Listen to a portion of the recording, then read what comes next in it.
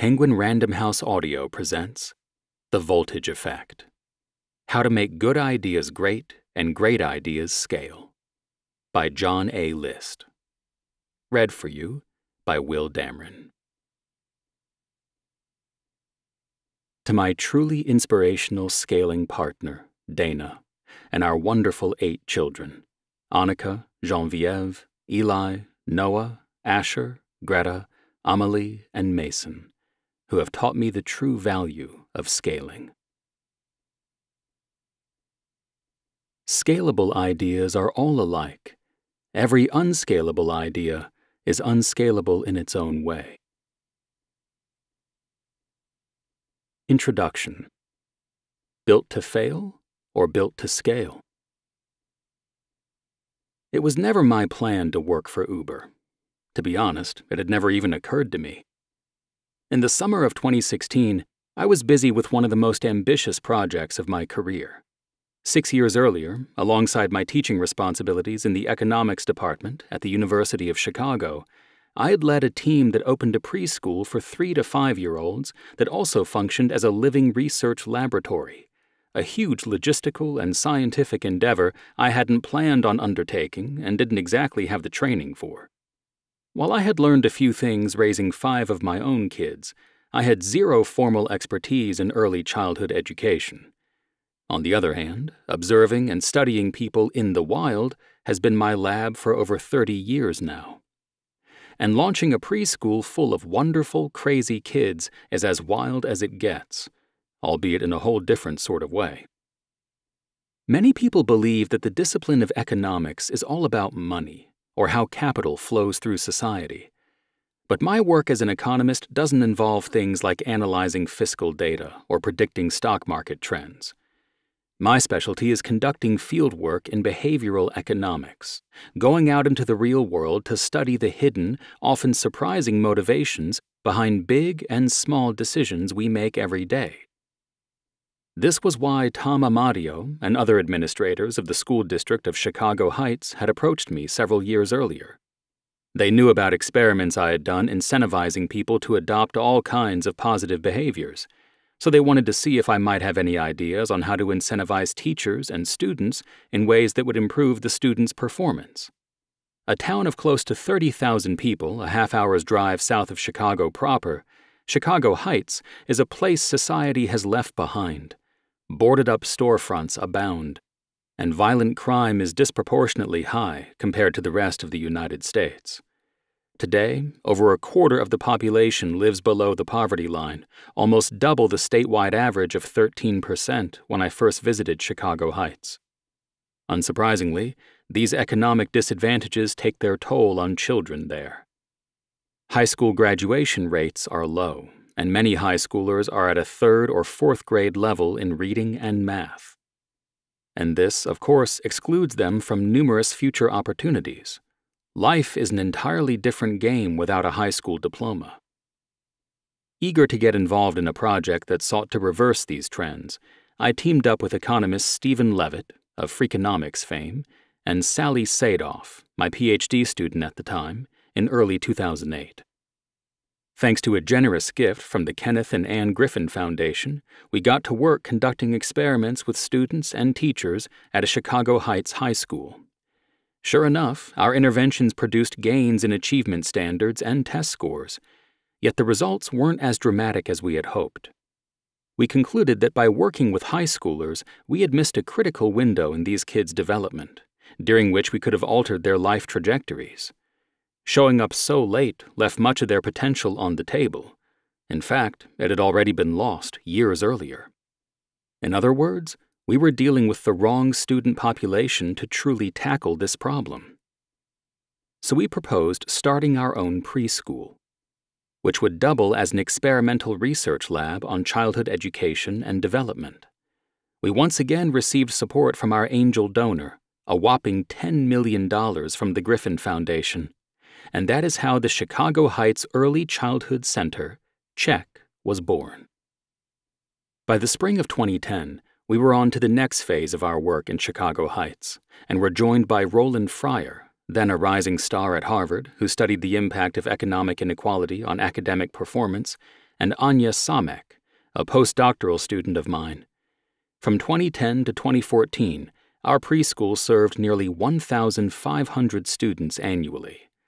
The bedrock of our four year pedagogical experiment was a curriculum that emphasized important non cognitive skills that have been shown to have a profound impact on later success in life, such as socialization, active listening, and delayed gratification. Our curriculum of choice was called Tools of the Mind. Crucially, we also had created a new program called Parent Academy which incentivized parents to involve themselves in their children's early educational development in specific ways. Once the four years came to an end, we shuttered the school, as had always been our intent. But we continued collecting data on the children who had attended, and we planned to continue collecting these data for decades to come to compare it against the performance of children who had the standard curriculum and whose parents did not receive any behavioral nudges from Parent Academy. In other words, we had come up with a hypothesis about improving long term outcomes for the children in Chicago Heights. We had designed a study to test it, and now we gathered and analyzed the results up to this point, which were quite impressive so far. Our kids were doing great and taking strong developmental strides. Ultimately, our goal was to take the key features of tools of the mind and combine them with our other findings to create a new curriculum model that we could expand to other communities in the United States, and even some abroad. So, in the midst of all this, when a recruitment officer from Uber called to explain that they wanted to interview me for the newly created position of chief economist, I dismissed the idea immediately. It would be one more set of responsibilities in my already jam packed life. On top of the Chicago Heights research keeping me busy, I was about to remarry and would soon have a happy but frenzied new household full of eight kids, along with two grandparents. Plus, what did my research on early childhood education have to do with the pursuit of world domination by a ride sharing company in Silicon Valley?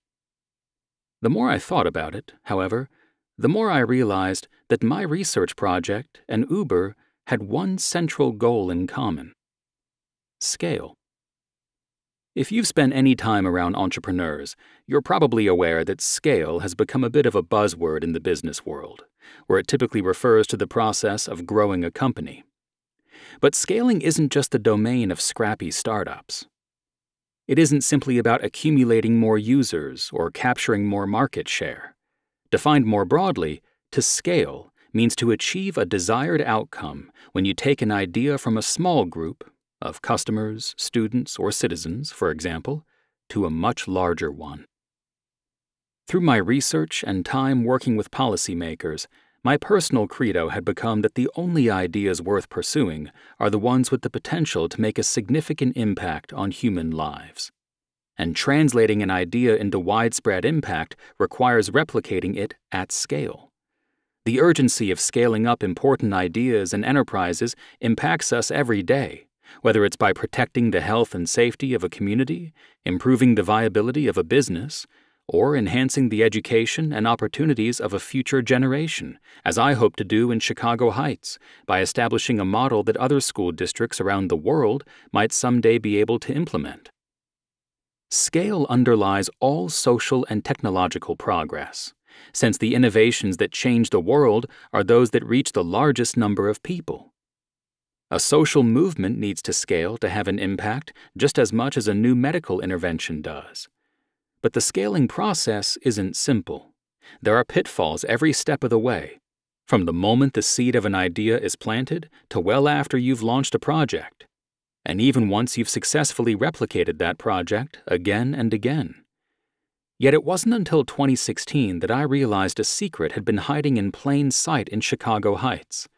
For several years, my research aimed at improving kids' educational outcomes had also been a study on scaling. Why it sometimes worked, while other times it didn't. I wondered if working at Uber a company that had managed to scale at lightning speed to some 70 countries and serve nearly 100 million customers, might reveal new insights that could be applied elsewhere. I also knew that Uber had a whole lot of data, and for an economist like myself, big data isn't just my bread and butter. It's my professional playground. It was rumored that Uber even tracked the colors of customers' residences, which side of the back seat men and women sit in, and the friendship networks among riders. I wondered what secrets about scaling lay buried in all of that information that I could translate into academic research. Pretty soon, I began to think that maybe working for Uber wasn't such an out there idea after all. Also, I like a challenge, and the Uber recruiter had warned me that they had already interviewed several other economists for the position and none had made the cut, so I shouldn't assume I would either. We hope you enjoyed this preview. To continue listening to this audiobook on Google Play Books, use the link in the video description.